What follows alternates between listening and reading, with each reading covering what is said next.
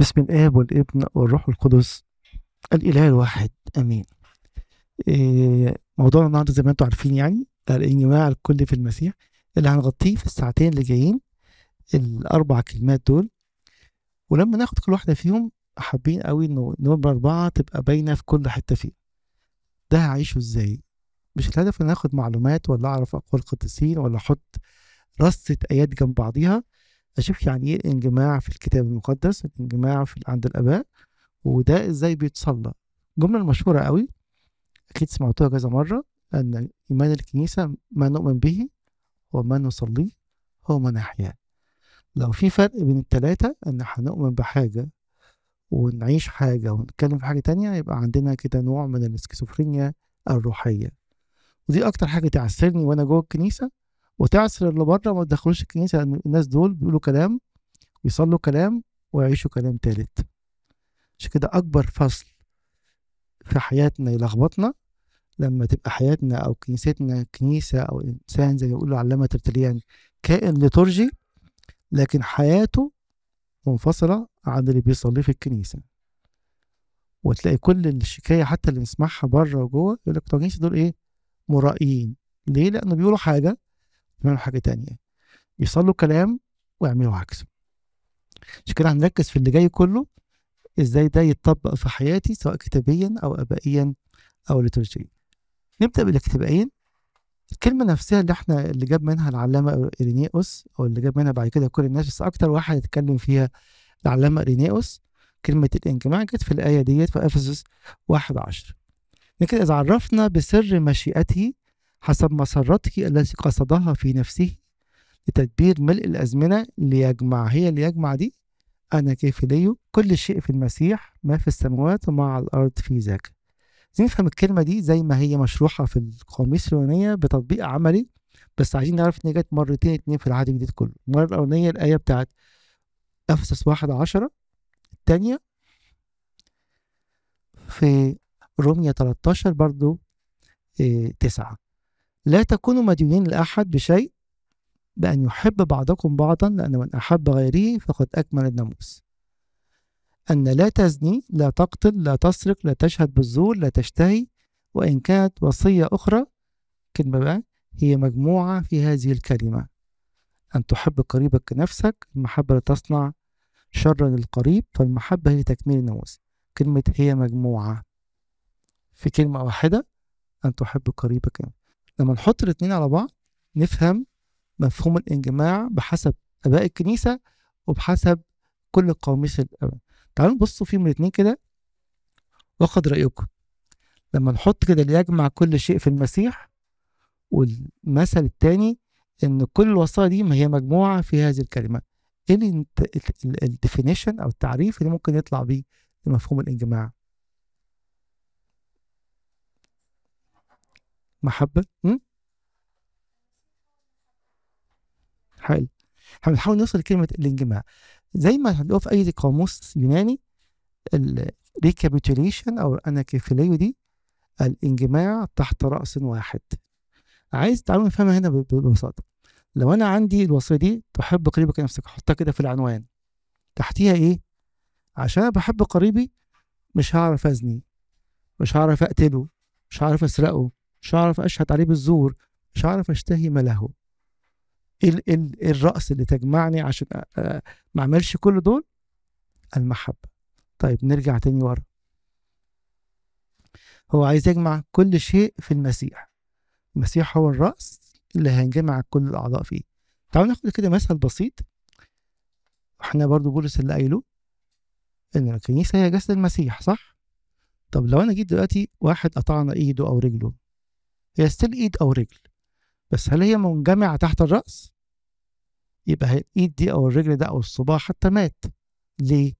مش منجمع مع الأعضاء مش واصل في الأعضاء ومش واصل للرأس.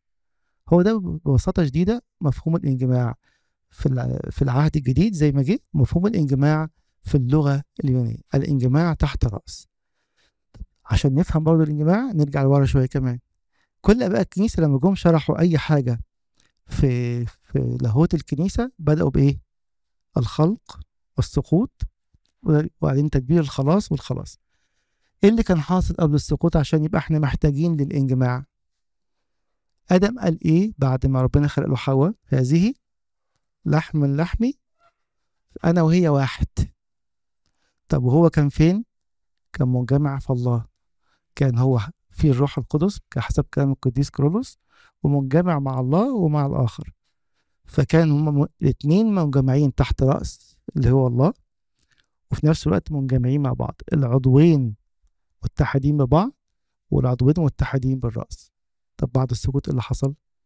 قالوا المرأة التي أعطيتني حصل انفصال بين الأعضاء وزي ما شفناها في في تكوين 3 19 رجع لأصله. أنت تراب ولا تراب. يبقى هي كانت حالة قبل السقوط فقدناها بالسقوط وجه المسيح رجعها لنا تاني. يبقى أبسط وأسهل تعريف للإنجماع إن أنا منجمع تحت رأس مع كل الأعضاء. ينفع آخد واحدة وأسيب التانية؟ أنا هنجمع مع الرأس بس مش مع الأعضاء؟ ما حصلتش. عشان كده واحد من اللاهوتيين في القرن اللي فات يتكلم إن كل ترم في الكنيسة سماه كده قال له جناحي الليتورجية.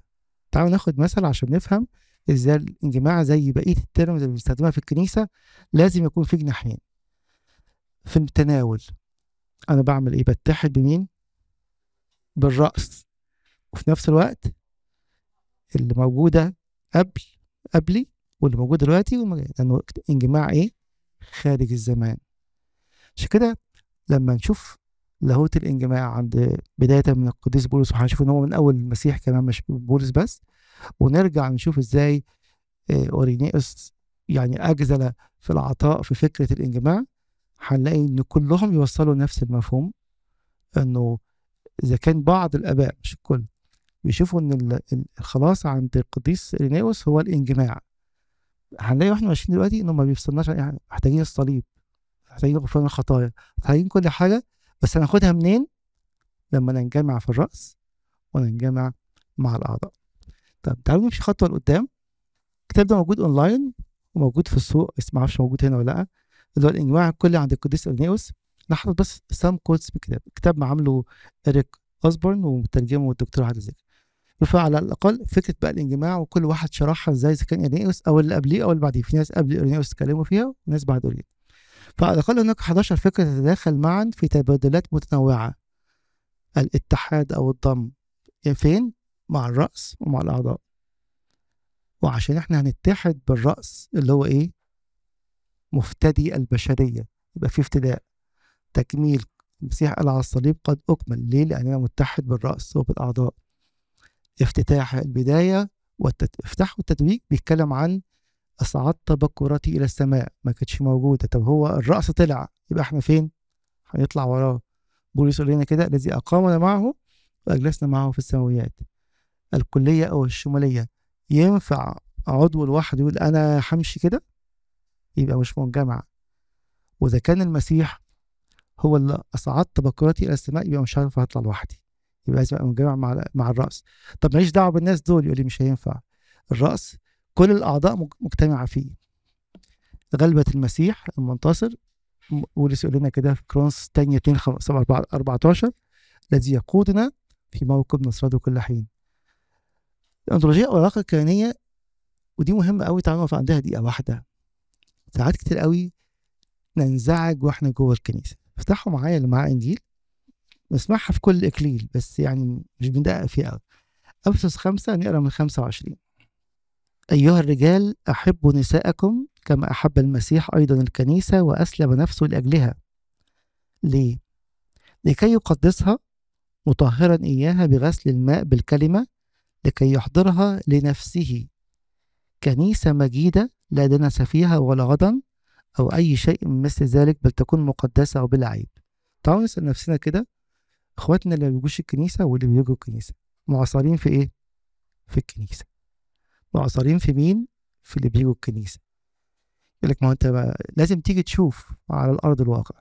اتكلم على الانطولوجيه أو العلاقة الكيانية. هنا بولس الرسول بيتكلم بيكذب علينا. هل الكنيسة مقدسة مجيدة بلا عيب ولا دنس ولا غضن ولا لأ؟ طيب واللي أنا بشوفه ده إيه؟ أنا ليه م? آه. اللي أنا بشوفه الكنيسة بتفرق بين حاجتين حاجة اسمها historical reality و ontological reality حقيقة تاريخية وحقيقه كيانية. يعني إيه؟ لما نقرأ مثلا عبرين 11 بولس بيقول لنا إيه؟ بالإيمان فلان عمل وبالإيمان. طب ما تيجي نرجع للعهد القديم هنلاقي إيه؟ اللي عمله إبراهيم جميل بس أنت ليه نسيت تقول إنه كذب وخاف؟ وجري على على أرض مصر وقال إن ساره أخته. ليه بتقول إن موسى عظيم جدا ما قولش إنه قتل؟ هو ما نسيش ومش بيتناسى.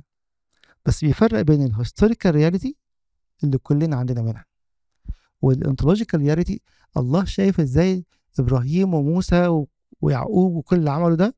من خلال ده من المسيح في العهد الجديد. ده الفرق الكبير. عشان كده لو أنا معصر أنا مش فاهم الإنجماع.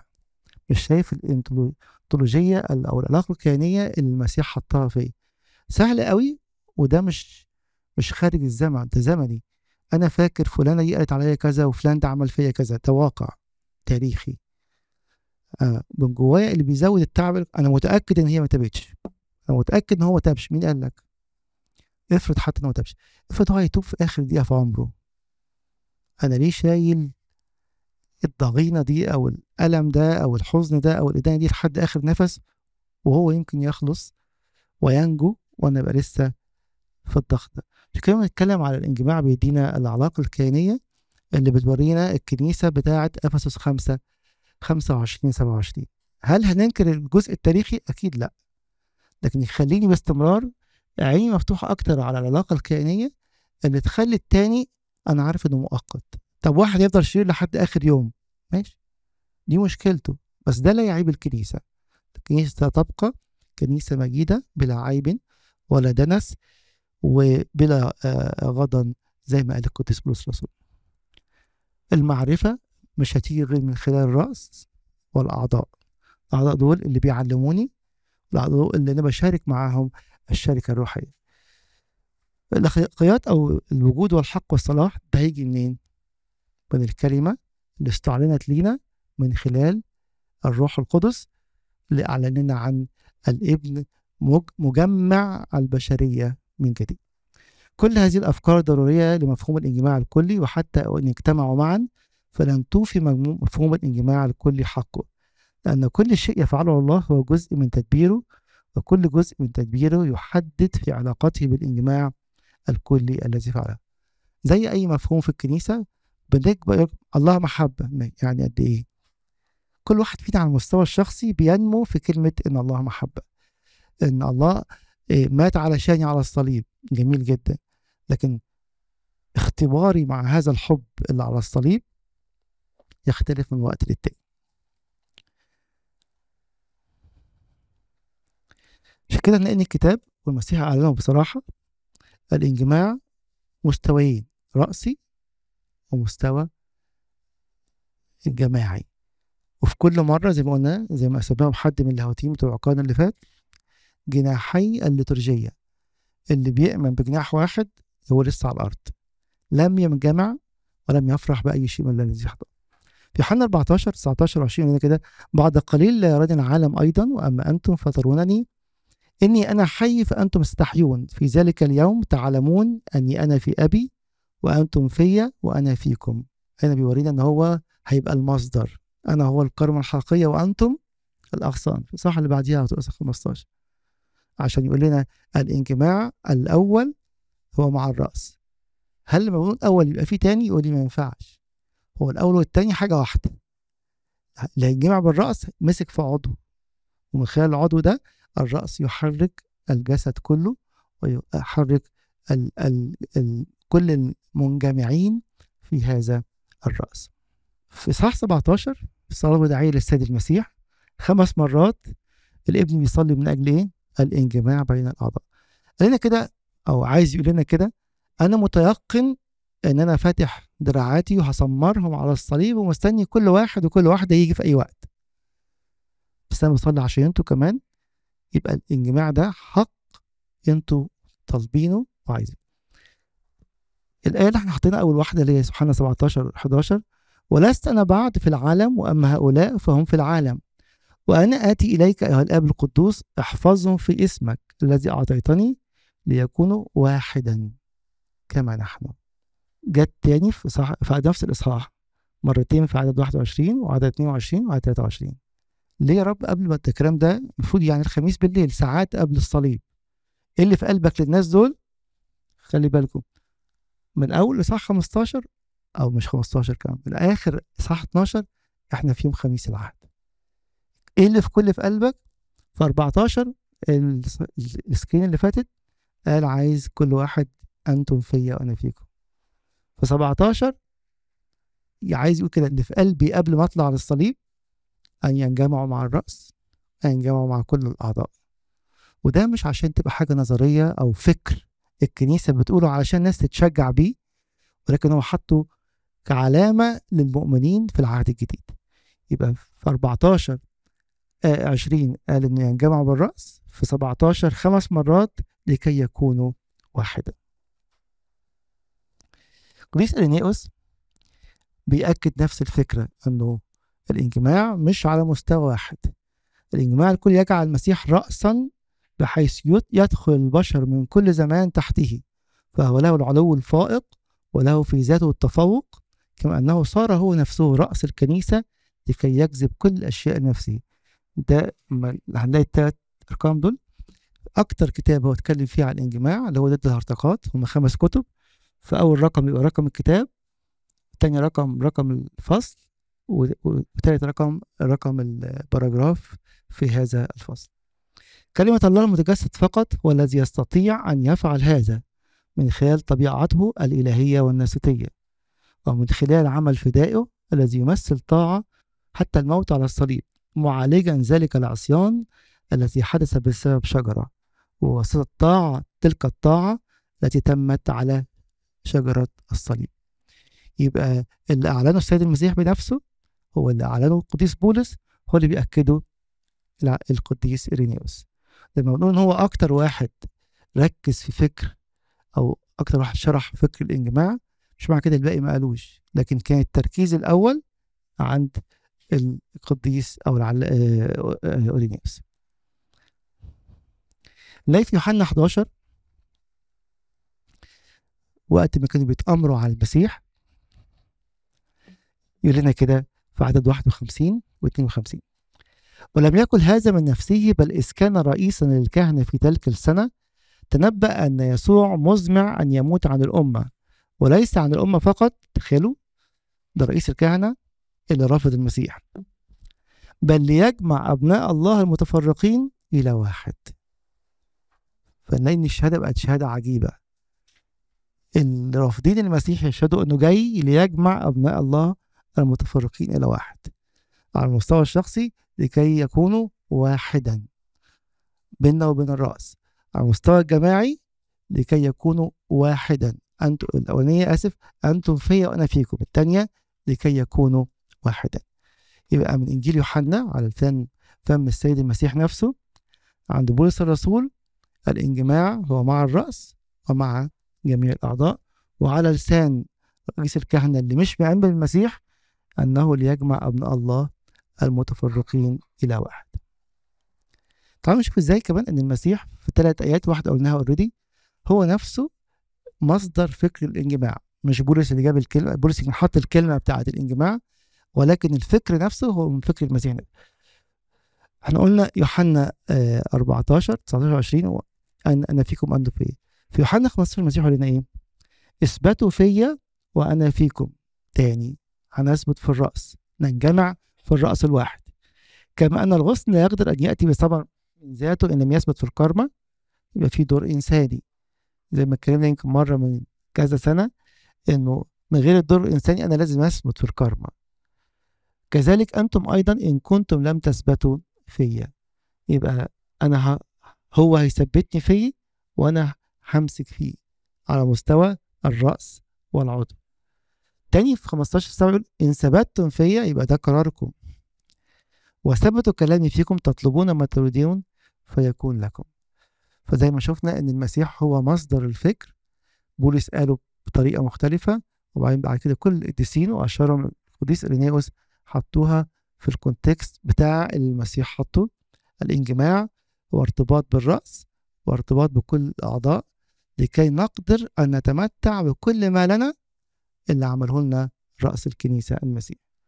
زي ما قلنا في السكين اللي قبليها إن 11 كلمة ما يوفوش مفهوم الانجماع وإن كان كلهم استخدموا في في القرون الثلاثة الأولى على الأقل.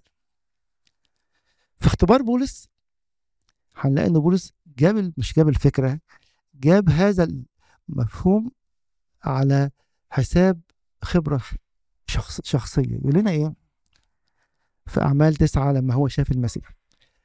من أول عدد واحد أما شاول فكان لم يزل ينفس تهددا وقتلا على تلاميذ الرب فتقدم إلى رئيس الكهنة وطلب منه رسائل إلى دمشق.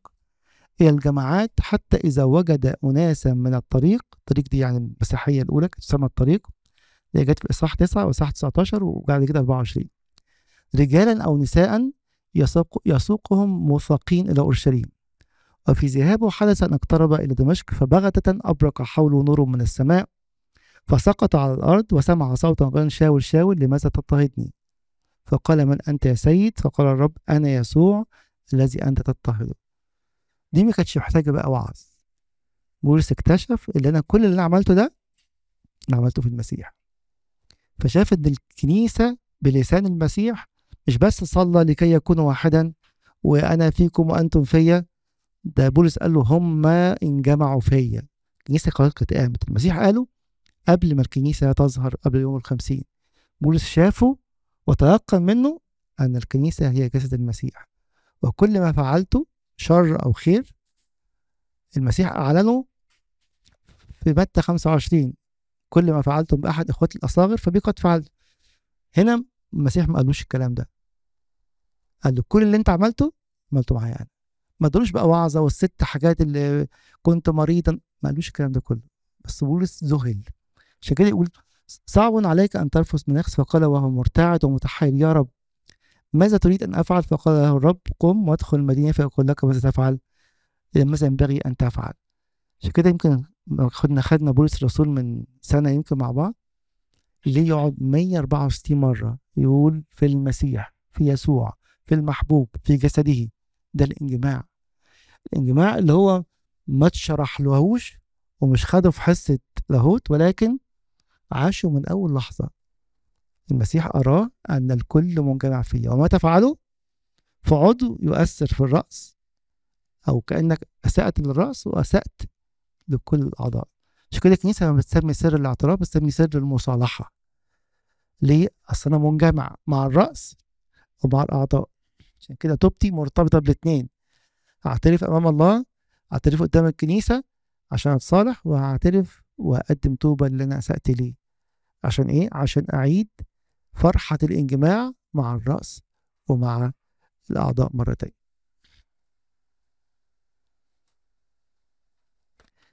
بولس يعمق الفكرة تاني. في رومية 12 4 5 فإنه كما في جسد واحد لنا أعضاء كثيرة ولكن ليس جميع الأعضاء لها عمل واحد. هكذا نحن الكثيرين جسد واحد في المسيح وأعضاء بعضا لبعض كل واحد للآخر. هو أكد في الجزء الأولاني إن إحنا كلنا ينبغي أن نتحد بالرأس. وعلى طول وأعضاء بعضا لبعض. مفيش عضو منفصل. هنشوف الجزء الليتورجي في الآخر خالص. إزاي إن إحنا بنصلي الكلام ده كل يوم؟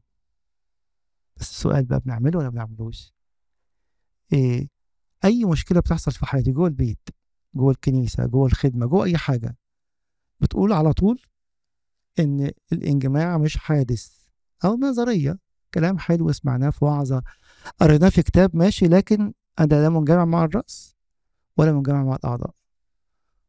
مفيش ولا آية من الآيات بتقول هنعمل الأعضاء درجتين درجة أولى ودرجة تانية أو ثلاث درجات أعضاء درجة أولى وأعضاء العضو عضو حي. مفيش حاجة واحد درجة أولى واحد درجة تانية.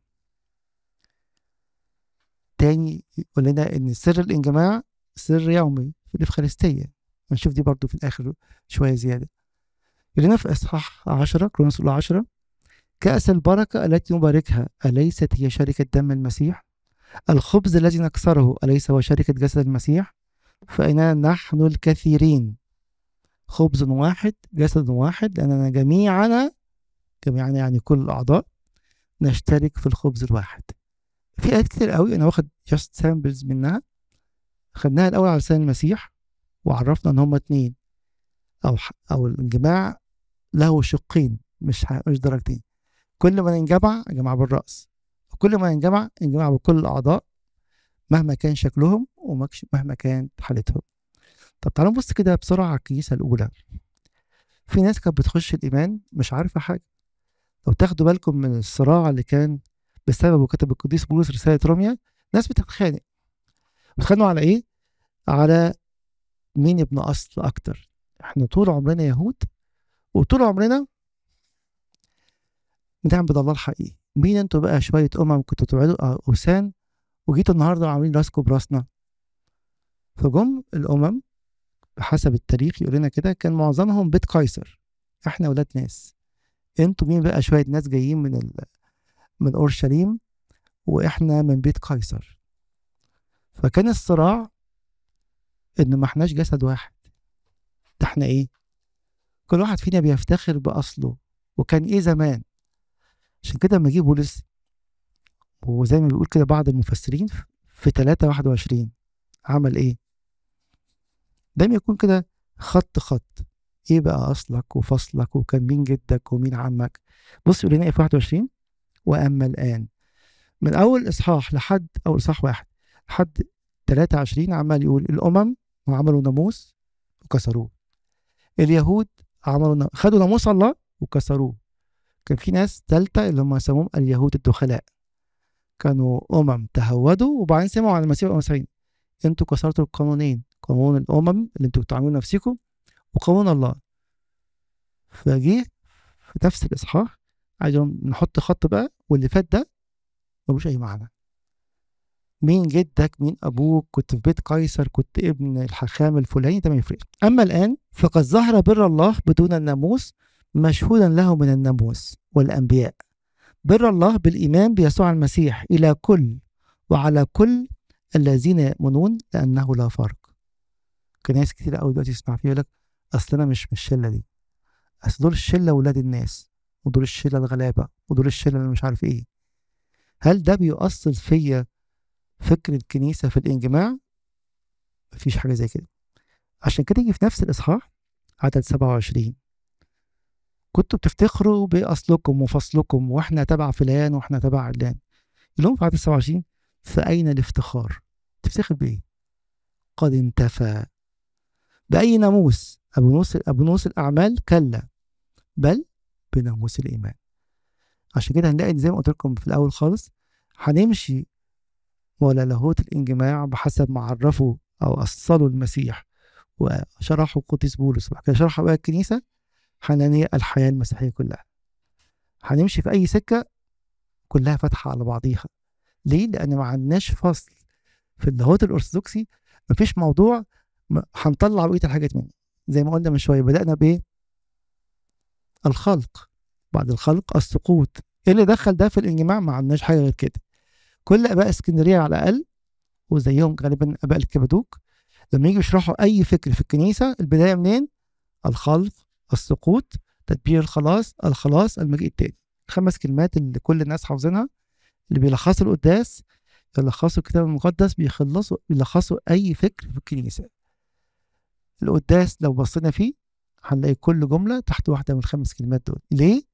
ما ينفعش نتكلم عن الأبدية وإحنا مش شايفين إيه اللي حصل في الأول ما ينفعش عن المسيح المخلص جاي يخلصنا من إيه؟ إيه اللي حصل؟ فدايما الخمس كلمات دول الخلق السقوط تدبير الخلاص يعني كل العهد القديم الخلاص هي كل حياة المسيح وبعدين المجيء التاني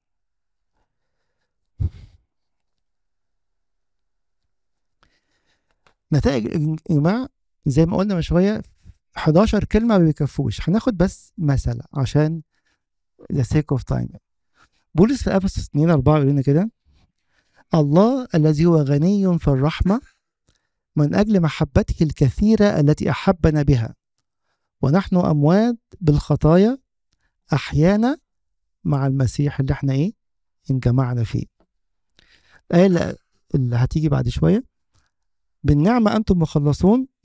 أنتم فين؟ أنتم منجمعين مع المسيح وأقامنا معه وأجلسنا معه في السماويات في المسيح يسوع ليظهر في الدهور الآتية غنى نعمته الفائق باللطف علينا في المسيح يسوع تاني.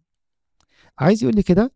لو انت مصدق إن انت انجمعت مع الرأس كل ما فعله الرأس صار ملك المين لكل الأعضاء. عشان كده ما قلنا من شوية ليه الكنيسة بتصلي في القداس الغريب أصعدت بكورتي إلى السماء. أنا مش منفصل. ليه بنيجي نقول في البديحة بتاعت ال- الخمسين وال- والقيامة قام بكر الراقدين. مين الراقدين دول؟ إحنا. وهو مين؟ هو البكر بتاعنا. عشان كده لما نلاقي إنه نتائج الانجماع يعني كل ما صنعه المسيح صار إيه؟ لحساب الجسد. كل مشهور قوي القديس اوسطينوس يقول لنا كده كان بيسأل حتى على التجربة المسيح يجرب ليه؟ هو محتاج يوريه إن هو يعني قوي بينتصر على الشيطان؟ بالعكس. الشيطان عارف ده. هم من بعيد كده قالوا ما لك ولنا يا ابن لا لماذا تأتي قبل الوقت لت- لتعذبنا؟ طب هو عمل كده ليه؟ قديس أوسطينوس لوكهول يلخص لنا كل اللي عمله المسيح وإحنا بنقوله كمان في قانون الإيمان. يقول لنا إيه؟ لما كان المسيح في الجسد كانت الكنيسة مخفية فيه مش شايفينها. طيب المسيح جه وقت صلب صلب وقام وجه الروح القدس. طب بعد كده حصل إيه؟ ظهرت الكنيسة. بس المسيح لما كان بيعمل يغلب الموت يقوم يطلع ويصعد إلى أعلى السماوات كان بيعمل كل ده ليه؟ كده وكان يفعل كل شيء لحسابها. فالتجربة والنصرة لحساب الكنيسة. الغلبة على الموت لحساب الكنيسة. الصعود إلى السماء لحساب كل حاجة عملها حطها في حساب الكنيسة. طب الكنيسة ظهرت يوم الخمسين كان بيقول لنا إيه؟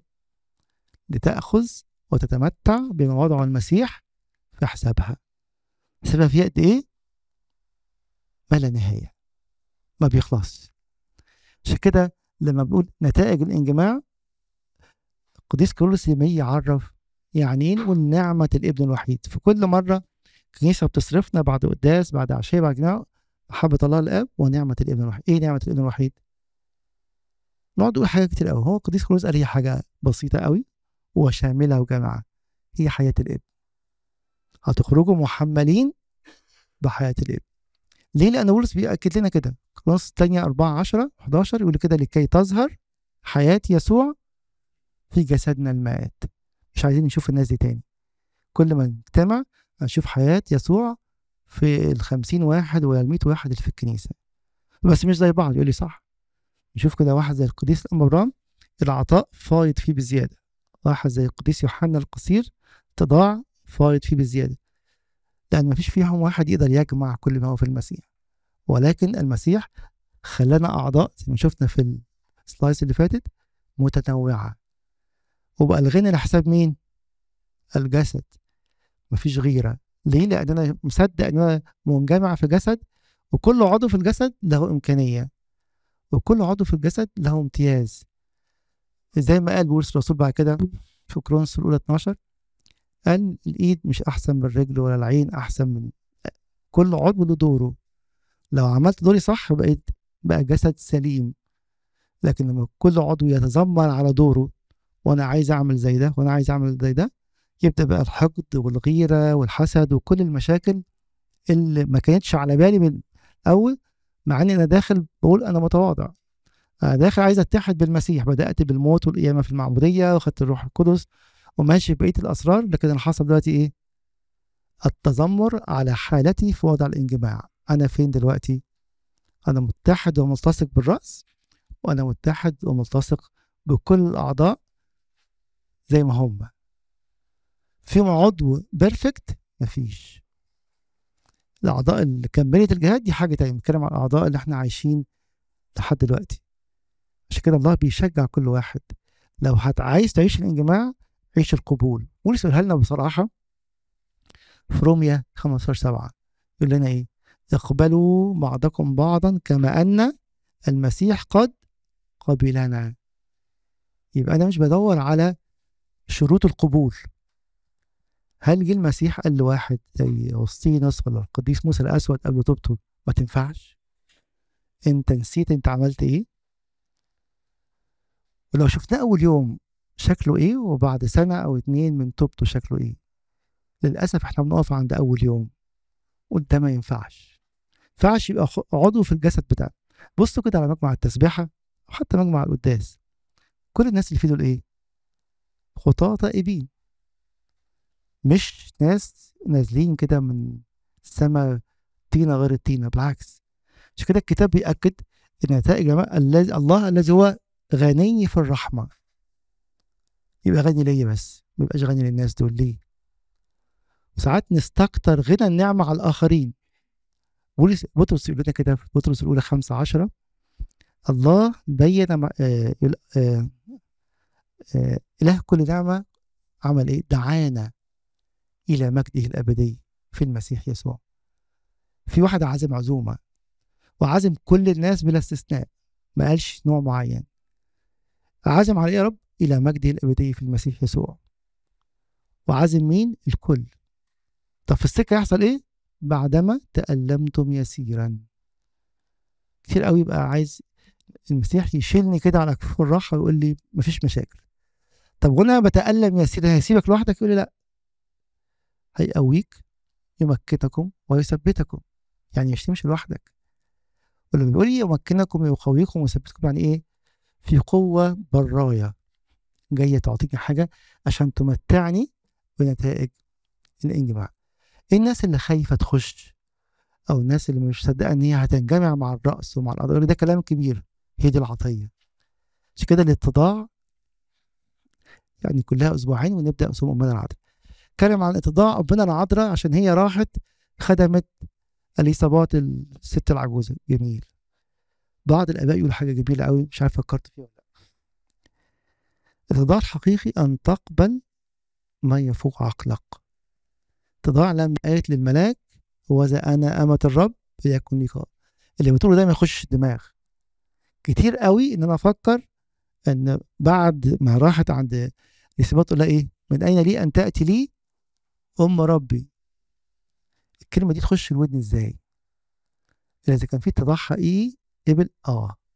أنا مش فاهمة. وأنا مش عارفة ده هيحصل إزاي لما كان الملاك بيكلم بس ده الاتضاع اللي يديني آخد اللي يفوق عقلي. آه كل الأعمال اللي أنا عملتها ديفنتلي أعمال فيها اتضاع. بس أكبر اتضاع إن آخد اللي أكبر مني. معظم حياتنا الكتاب مليان مئات وآلاف الوعود. ليه أنا مش مصدق؟ ومش داخلة دماغي. لما يجي يقول لي ده أنت ابني وكل يوم إن الروح يشهد لنا أننا أولاد الله. في رومية 8 ليه مش مصدق لحد دلوقتي؟ ليه لسه بتعامل وبتصرف على إني عبد؟ أو مواطن درجة تانية. مش حاسس. إن أنا ماشي على الأرض وراسي فين؟ راسي في السماء. الابن ليجمع كل شيء في جسده. ده كله بيقول إن الانجماع يبدأ إن أنا أؤمن أن ما قاله المسيح وما أعلنه بولس الرسول وما قرره الآباء عطيه مجانية لكل الكنيسة. اللي هيصدق هيمد إيده وياخد. إريك أوزبون يقول نفسك المسيح آدم الثاني يوحد الجميع بموته على الصليب. هذا الاتحاد مادي ومعنوي أيضا. الجوانب المعنوية في الانجماع لكل المسيح محبته وجوده وطول أناته وعقله إذا الإنسان بسقوطه فقد العقل الحقيقي وعاش حياة مضادة للعقل وعدله الثابت إلى الأبد. بينما أعطى حياته من أجل حياتنا. يبقى هنا لما بنقول في السقطوقية أخذ الذي لنا؟ وأعطانا فالناس تكشكشها قوي خد خطيتي واداني غفرانه. جميل. بس بيقول لنا إيه؟ بينما أعطى حياته من أجل حياتنا. ده an exchange of life. مش بس خد الخطية والتاني. دي مهمة جدا إنه غفر خطيتي وخد خطايانا وادانا غفرانه. بس ما ينفعش نخلي ده. طب هتطلع السماء مش هتطلع؟ آه خد بشريتي واصعد طائره لكل السماء. مش بس هنقف عند الصليب بنكمل. طب قومني لو امنيش الذي اقامنا معه. يبقى في أكتر من غفران الخطايا بس. وجسده من أجل جسدنا. يمتد الانجماع الكلي ليشمل كل أجسام البشر في العالم وقيامة جسدهم تتبع جسد المسيح. الجسد اتحد تحت المسيح الرأس. تاني بيأكد في كل جملة تقريبا في الكتاب لما بيذكر الانجماع إنه انجماع له شقين انجماع مع الرأس ومع كل الأعضاء ووجد عدم الفساد في المسيح. المسيح ذاته هو القيامة هو يجدد ويكمل العالم الذي سيصل كماله النهائي عندما يعود المسيح ثانية ليجدد الأرض. تاني نتيجة الانجماع الكلي هي حياة المسيح كاملة. بس جبت some samples من عند القديس إيرينيوس ومن عند بولس الرسول ومن كلمات رب المجد يسوع نفسه. في كل مرة بنقرأ ونشوف عمل لنا إيه بسأل نفسي أول سؤال. ده إيمان الكنيسة. هنشوف بعد شوية هنصليه إزاي. بس يفضل الجزء الشخصي اللي هو إيه؟ هتعيشه إزاي؟ آه ممكن أقعد مع اب اعترافي ومرشد روحي وأقرأ كتب وأسمع وعظات عشان أتعلم أعيشه بس لازم أنزل أعيشه. ساعات أقول لك سمعت وعظة حلوة قوي عن كذا. ماشي. هتنزل بقى وسط إخواتك وتورينا مش هتيجي تقول لنا أنا جاي النهارده أعرض لكم حياتي بعد مفهوم الإجماع ولكن هيشوفوا الفرق؟ هبقى أنا فعلا مش بخ... بجرب ويا رب انت رزقتني بأخويا ده اللي أنا مش عارف أسامحه من سنين. اديني كده قلب الغفران. انت حطيتني في الخدمة مع الخادم الفلاني أو الخادمة الفلانية أو سمعت فلان بيقول على فلان أنا إزاي أعيش أنا الانجماع وسط الجو اللي اتلخبط قدامي بسبب أو لاخر أعيش إزاي وأنا معصر في أخويا الخادم ولا في الخادم الفلاني أو الخادمة الفلانية وأنا لسه منجمع مش خلاص هقاطع ده وخاصم ده وأتكلم على ده وأبقى زي زي العالم؟ بس أنا عارف إن في انجماع في مع الرأس وفي انجماع مع الأعضاء.